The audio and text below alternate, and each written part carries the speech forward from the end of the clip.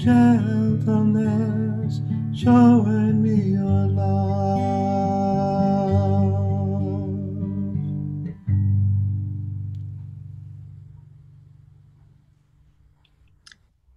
Oh God, the gentleness that bananas require.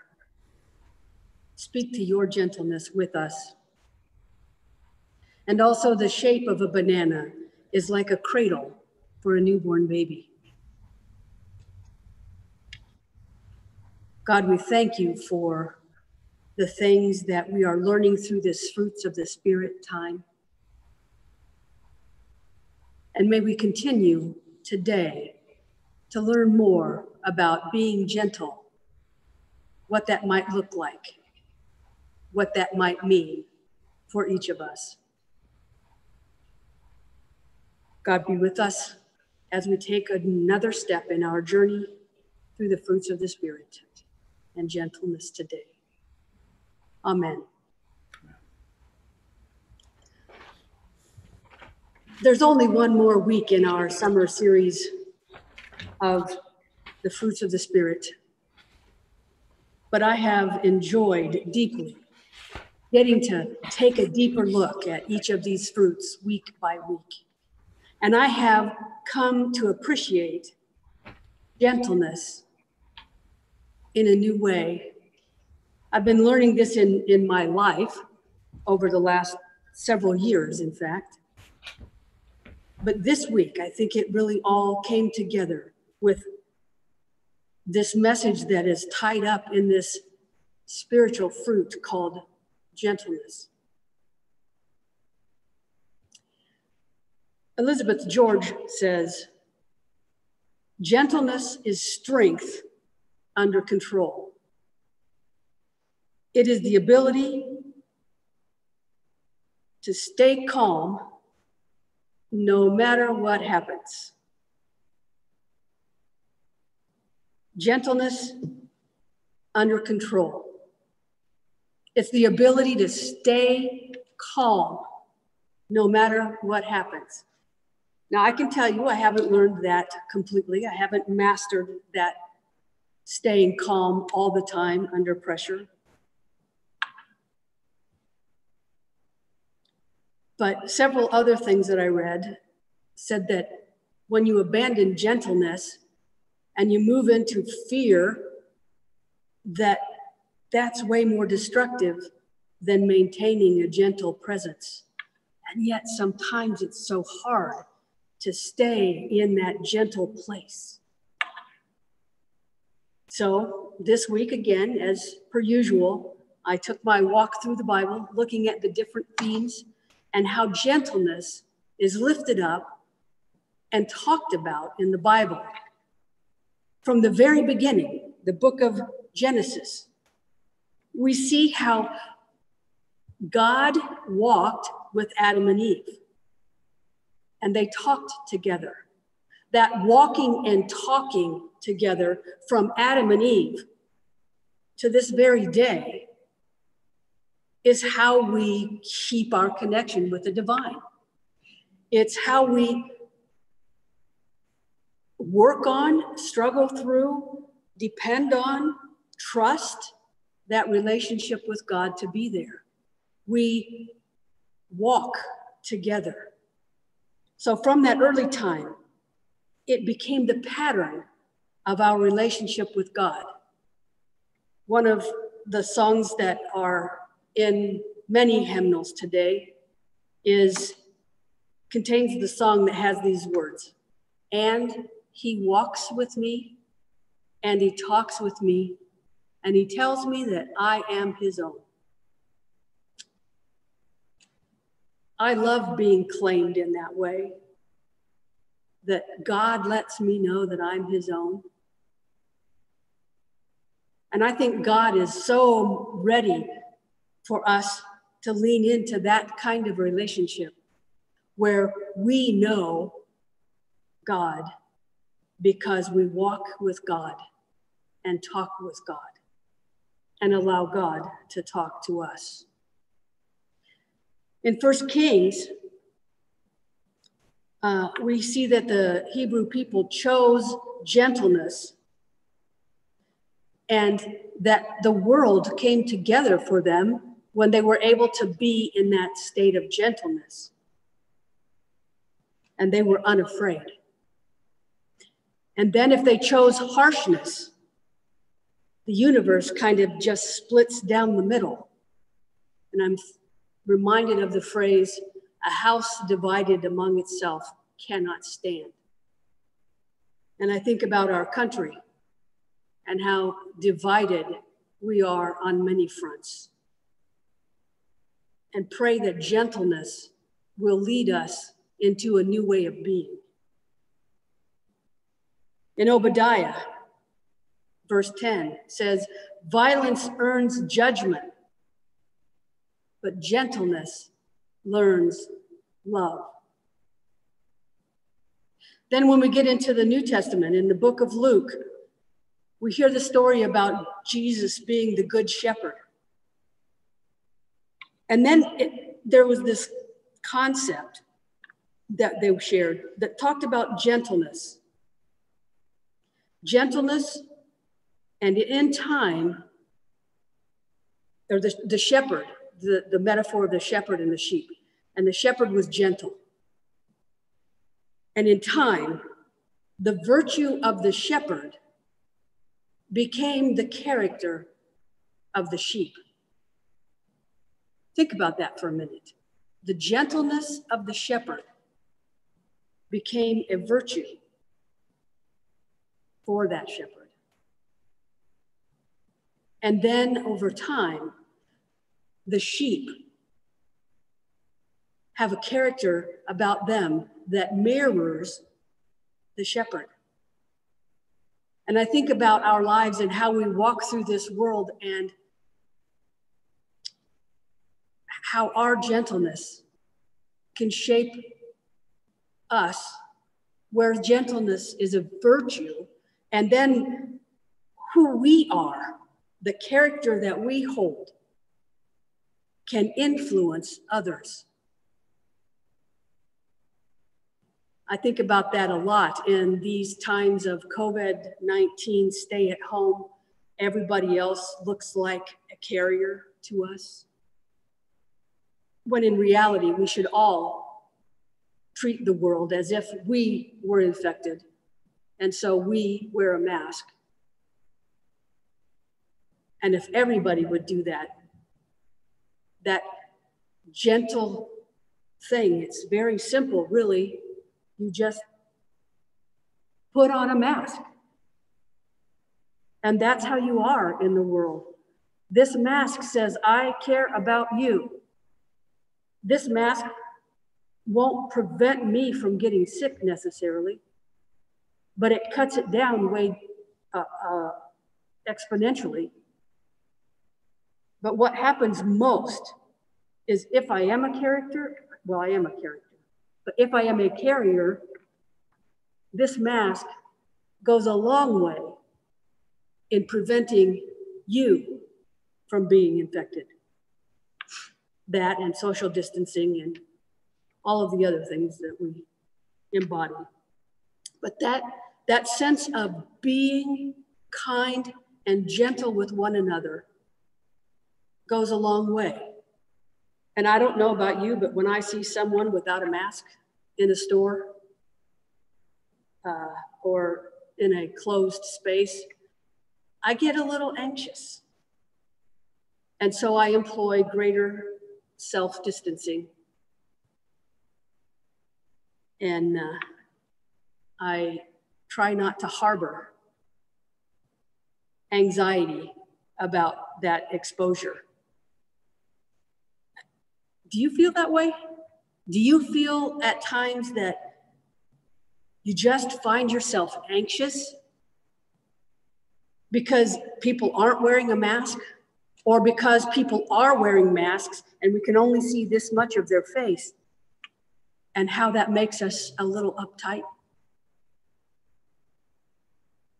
This COVID 19 isolation and separation where we can't hug those who don't live in our house, where we can't take off our masks when we're close with other people. It's a different way of being. But being called into that gentleness where we have a gentleness about us wearing our masks and we accept the gentleness in other people who do wear a mask. And we ask for grace for those who don't. Moving on. First Peter.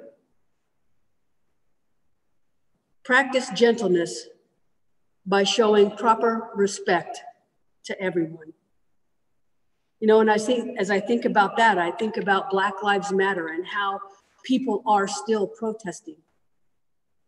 It's very peaceful these days, the protest. We don't hear much about it on the news anymore. But the need to protest continues.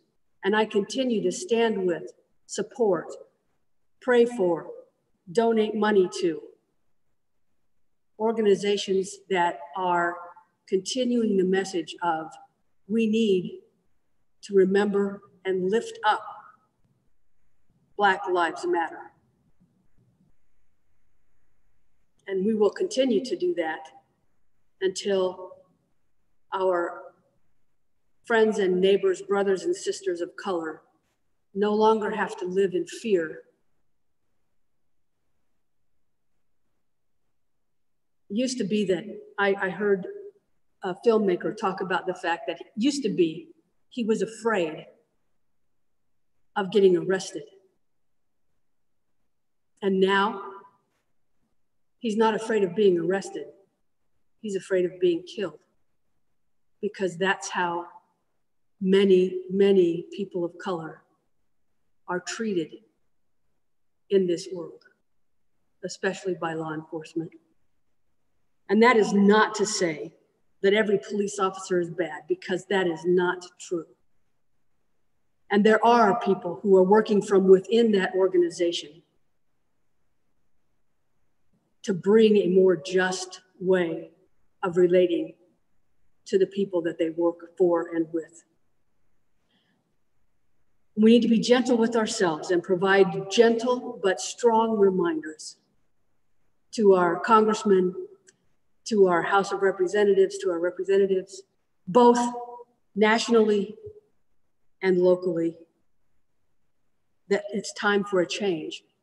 It's time for us to see the dignity and the humanity and the worth and the value of all people and not based value and worth just on the color of our skin. In times like these, gentleness with ourself is really important. How we take care of ourself physically by hand washing, by wearing a mask when we go out, by social distancing, by not hugging those people we want to hug when we're not part of the same household. April and I have met together, and both of us have said, Oh, I just wish I could hug you right now. And I'm sure many of you have felt that same feeling, but we don't because we respect this church and the fact that we need to be here as leaders and we set as good an example as we can for everyone. I just wonder what you're doing. What are you doing with yourself to be gentle with yourself. How many of you allow yourself to take a nap? During one of the meetings that I was in this past week, we talked about the fact that sometimes you just need a nap.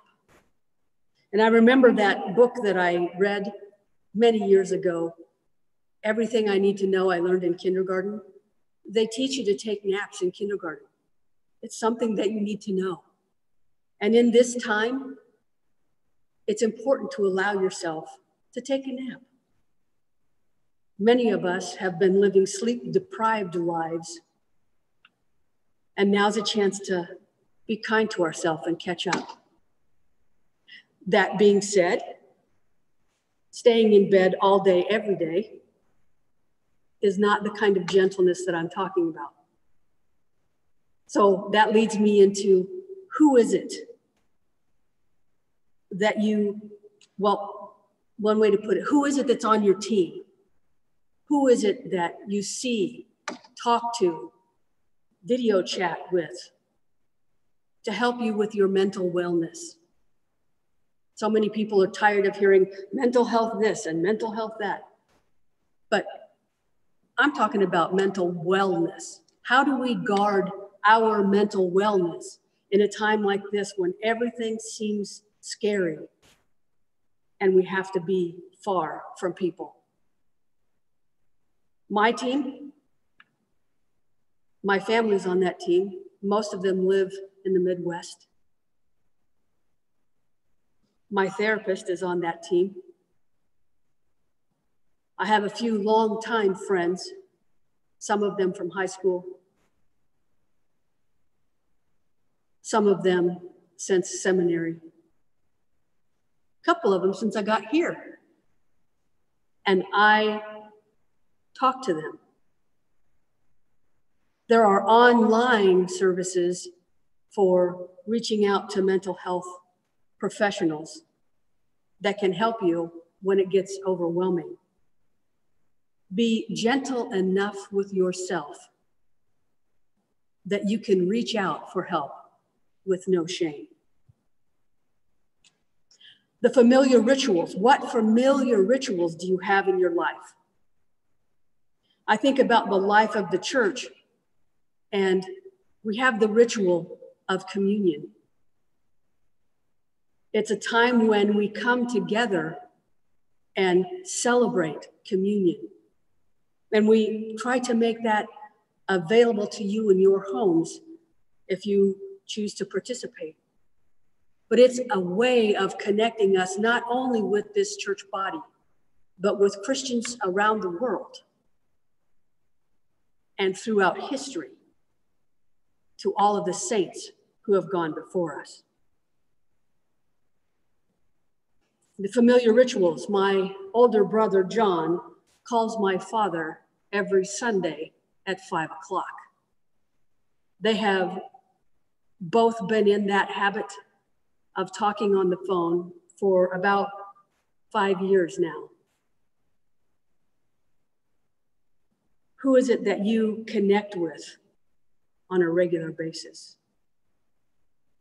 Familiar rituals may be stronger during this time when life seems so not normal. What about prayer? Are you finding that you pray more as you walk around and do things in your house and think of other people and just lift them up in prayer? That might be an option.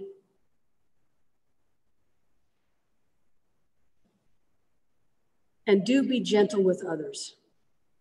Get in that habit, that ritual of being gentle with other people. This is a highly stressful time.